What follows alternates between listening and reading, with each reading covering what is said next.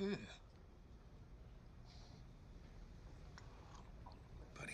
hmm. you don't have to drink that. Thank you.